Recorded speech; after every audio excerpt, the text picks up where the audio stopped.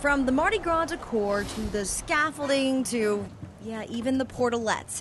It is carnival time on St. Charles Avenue. And for those who live and work on the Uptown Parade route, like Bonnie Rabe, are preparing for carnival chaos. That's why we do the portalette and we do the fence. I mean, we kind of cordon off so that people can't just hop the fence. Rabe, who owns the Grand Victorian Bed and Breakfast, says while living on the parade route gives you a front row seat, there are some cons. The cons are certainly, you know, just the the, the just general logistics, getting in and out, you know, um, the noise. Which is why some residents get out altogether.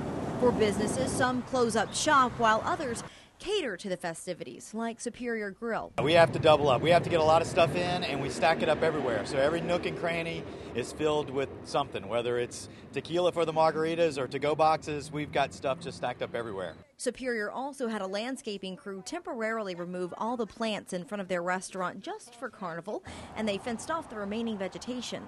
It's also a busy time of year for people who install these fences. Workers that we spoke to say that they're putting up roughly four to five fences a day at apartments and condominiums along St. Charles. They're mostly trying to protect their buildings, take their gardens, so um, people don't be urinating on side of the buildings or don't be messing up their flower beds or try to park on their yards, set up barbecues on their on their lawns.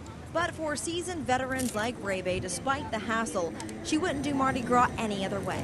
It's really a fun time of the year. I mean, I, I love the energy and the electricity that is Mardi Gras on St. Charles Avenue. I mean, you know, I'll probably be spoiled for life. On your side uptown, I'm Randy Russo, WDSU News.